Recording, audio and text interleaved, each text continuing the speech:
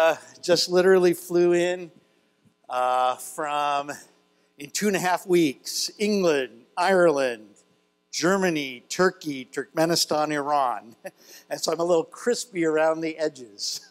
so we might get a little loopy here tonight. So I'll try to remember okay, it's not, we're in Texas, so it's yo y'all.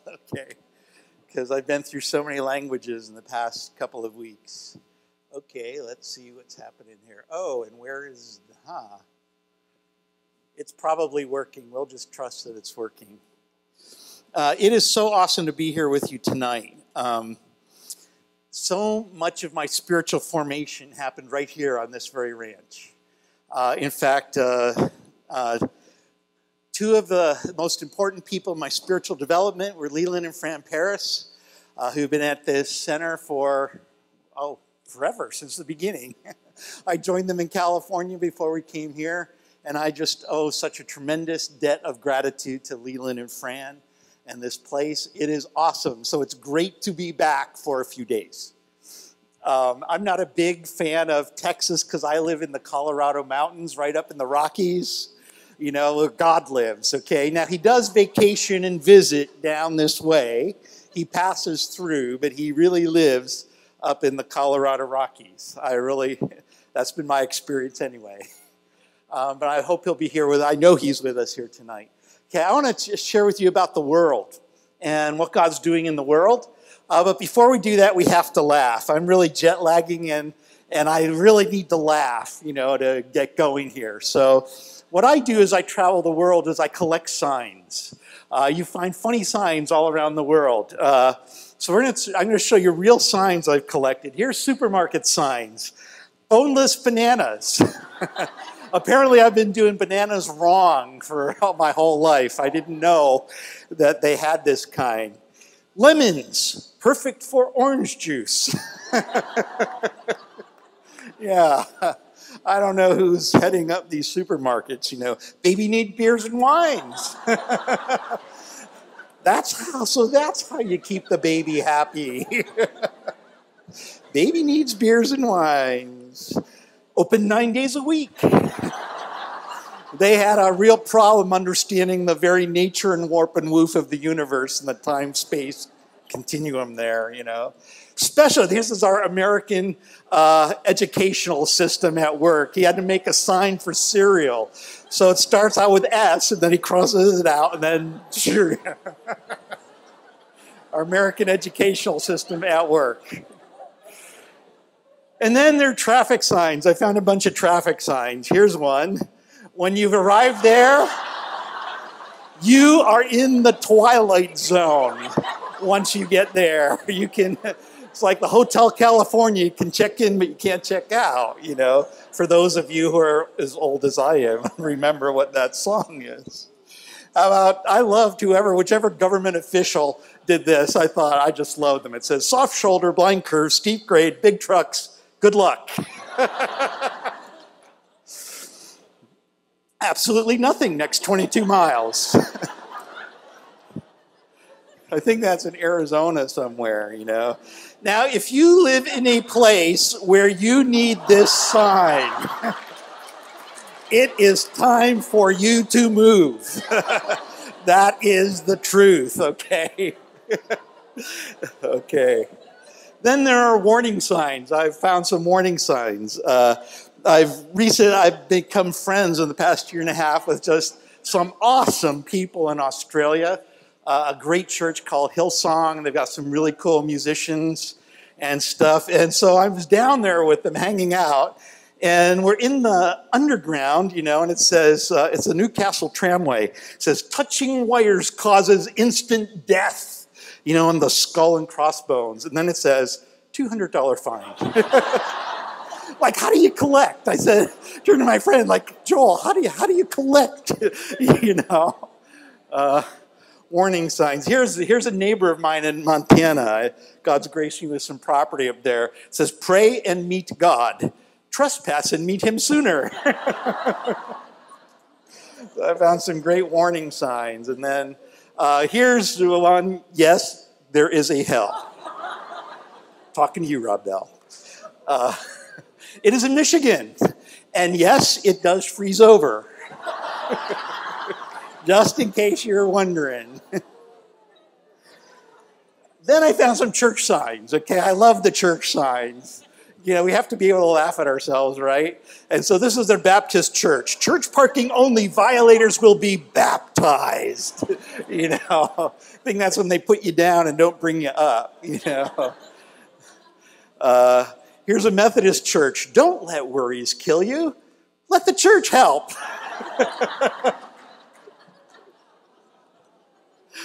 Okay, now this, my little nieces and nephews love these things, kazoos. Okay, and I'm not a particular fan of the kazoo as a musical instrument that anyone should take up. And what's even worse than a kazoo is a kazoo in like the mouth of a five-year-old. okay, so now I try, I speak in a lot of big churches and I hang out with a lot of pastors and church people. You know the biggest complaint amongst church workers is that parents will not come and pick up their children from childcare, you know, right after the service. They hang around in fellowship and they come late and all the church, all the childcare workers just go crazy. So one church had a solution to it. They put out this sign in front of childcare. It said, unattended children will be given a Red Bull and a free kazoo. that got them to pick up their kids quickly, you know, after the service. And then we had some church sign wars. you know, I forget if this was in Arkansas or Alabama, somewhere, between a Catholic church and a Presbyterian church. The Catholics put up a sign that said, All dogs go to heaven. And the Presbyterian said, Only humans go to heaven. Read the Bible. so the Catholics said, God loves all his creations, dogs included. And the Presbyterian says, dogs don't have souls. This is not open for debate. so the Catholic said, Catholic dogs go to heaven, Presbyterian dogs can talk to their pastor. so the Catholic Church said, oh no, the Presbyterian said, converting to Catholicism does not magically grant your dog a soul. so the Catholic said, free dog souls with conversion.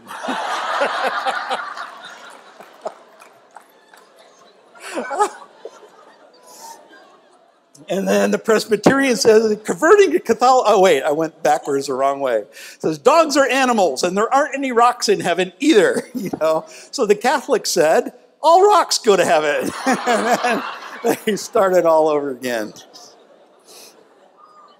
Okay, uh, I forgot to bring a watch. Can someone let me know the time and when I'm supposed to quit? Or throw something. Uh, can, is there a way for someone can give, loan me a watch or let me know what time I'm supposed to quit here tonight?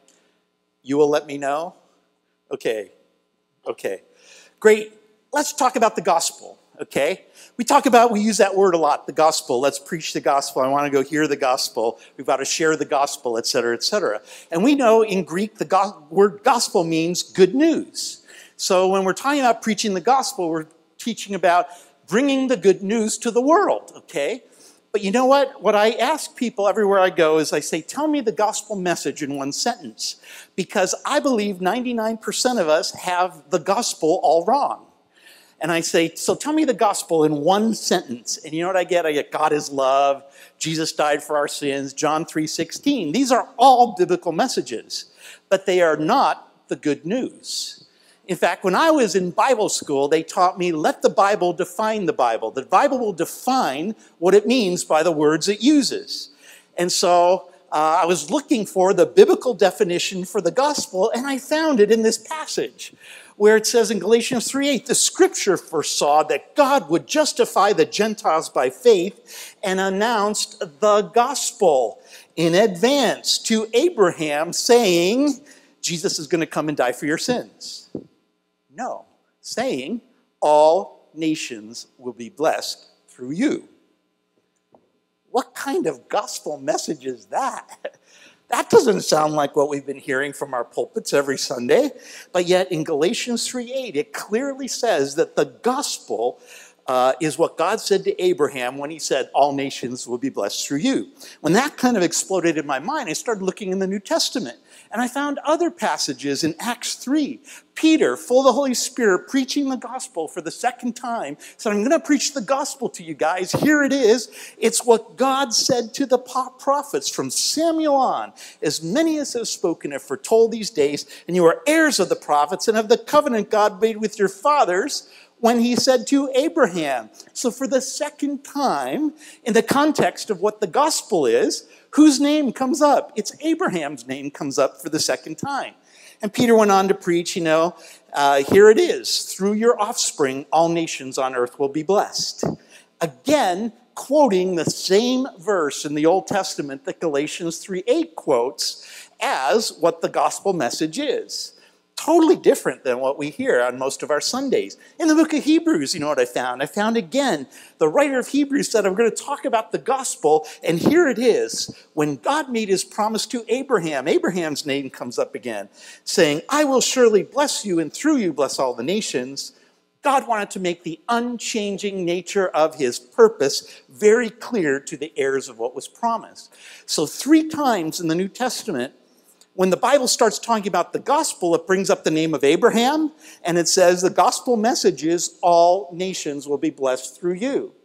Where's Jesus in that? I mean, I, I was confused for a bit until God began to give revelation and I began to really understand what it was all about. I went back to the original passage. All three of these verses in the New Testament are pointing one, to one Old Testament verse. It's Genesis 12, uh, verses 2 to 3. They're all quoting the same passage. In fact, Genesis 12, verses 1 through 3, is the most quoted scripture in the Bible by itself. The Bible quotes this verse more than any other verse. When you hear Jesus refer to verses, you know, he often did, um, and other places in the Bible that refer to the Old Testament, this is the one that out of all of them are quoted more often than any of the others. God says, Abraham, I will bless you.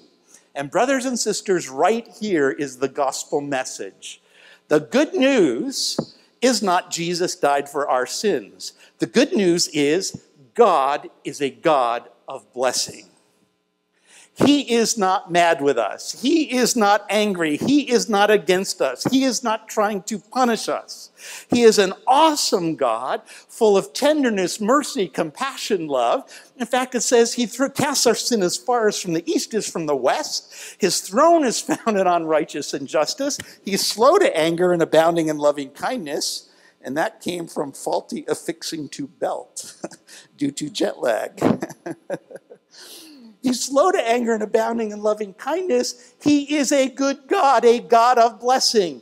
No religion in the world except ours has a God who wants to bless us. In every other religion, an angry God who wants to punish. We have to sacrifice people to the volcano so the volcano God doesn't burn us up. You know, Allah in Islam is not a happy God. You know, if you if you uh, read the Quran and stuff, no religion, none, zero, has a God who wants to bless us, except for our God and our religion. He is a God of blessing. And that is the good news. The good news is not Jesus died for our sins. The good news is even better than that. It is the nature and character of God Himself. So that even though we were sinners, we were sinners, He came to help us. See, that's the Jesus coming is the result of the good news. If God wasn't good, He wouldn't have sent Jesus. So Jesus is in there in that gospel message, right? But what is the message? I, am a God of blessing. I want to bless you. My heart is good towards you. I don't want to punish you. That's who I am, a God of blessing. But guess what? You will not, you will not keep that blessing to yourself. You will share this blessing. So all of you can, who want it can have the blessing because I'm a God of blessing. But guess what? You don't get to keep it to yourself. You will, you will, you will, you will share that blessing. And where are we supposed to share the blessing? All nations on earth will be blessed through you. So when we look at a biblical definition of the gospel uh, in Galatians 3:8, it says this is it: is that God wants to bless us, and then through us bless all the nations of the earth.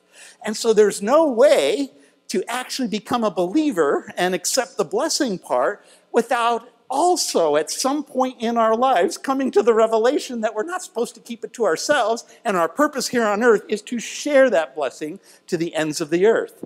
That's the gospel message. Blessed to be a blessing to all the nations of the earth. These are great scriptures like all of them are. Let me give you an example here in the old testament. The jews the israelites understood this in the beginning. It says they prayed this May God be gracious to us and bless us, make his face shine upon us. What an awesome prayer. I pray that every day. God be gracious, bless me, make your face shine upon me. You're a God of blessing, bless me. But they didn't stop there. They understood blessed to be a blessing. They said, So that, bless us, so that your ways may be known on the earth, your salvation amongst all nations. That is the gospel message blessed to be a blessing to all the nations of the earth. And I submit to you that as Christian, we cannot be a Christian living in the full expression of the gospel unless we receive the blessings of God, forgiveness of sin, and everything else, but also are involved in some way in sharing with the nations. Now, 99% need to stay home. God's called you to stay home. 1% need to share uh, with the nations by going uh, into missions, but even a 99% at home, uh, your call from God is to bless the nations by sending missionaries, supporting missionaries, praying for missionaries, praying for the nations. We're blessed to be a blessing to all the nations of the earth. And you know what? Everywhere in Scripture, God is a God of the nations. He wants all the nations to experience His blessing and he has enough power to touch all the nations. I'm glad that I have that deep in my spirit when I look at the world. Anyone notice the world's not doing so good right now? Any of you notice that? I'm going to talk about that tomorrow. I'm going to put in perspective to you what's happening in the world and how we as the church can change what's happening in the world. Going to put totally all the news and the headlines in perspective for you. In fact, I'm writing a book about this now, and Oxford University said if you will write this as a thesis, we'll give you a PhD because they said this is really the right under, this is the understanding of the world. We need to get out there. And i said you know what? Letters after my name are not going to help help me win souls.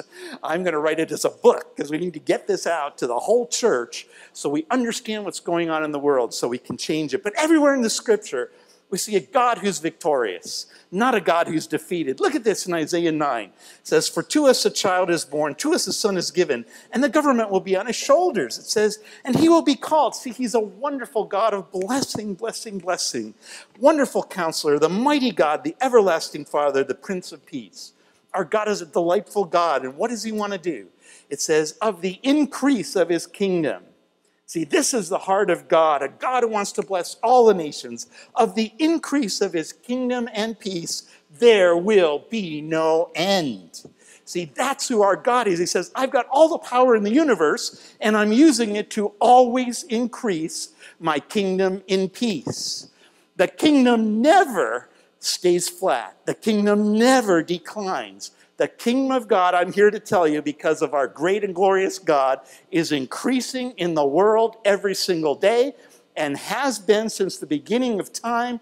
We've never gone backwards, we're only going forward because our God rocks. There will never be an end to the increase of the kingdom. Why? Because it's the zeal of the Lord Almighty who does it. It's not our zeal, it's God's zeal to get the message of, I'm a God of blessing out to the nations. So God uses his power to get the gospel out, the good news. Uh, even despite all of us frail people, like right now I'm jet lagging and I feel like a total bozo, you know, and my staff would confirm it. Yes, you are a bozo if they were here.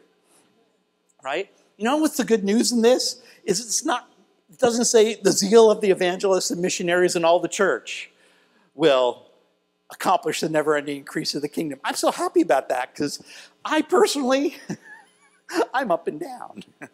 Some days I wake up, I'm happy, like, woohoo, you know, good day, let's serve Jesus. Other days I wake up, I'm sad, I'm like, oh, bummer. do I have to really do go do things for God, you know? Some days I wake up, it's like, ooh, I want to pray, can't wait to get to prayer meeting this morning. Other days I wake up, it's like, oh man, do I've got to talk to God? I don't want to talk to Him right now. Some days I wake up, can't wait to read the word, you know, whoa, this is awesome, you know. Other days I wake up and it's like Deuteronomy.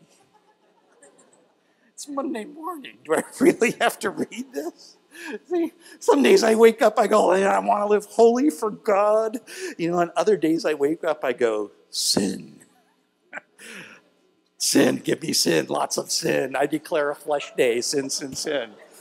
You know, some days I wake up, it's like, put on the face paint, let's take India for Jesus.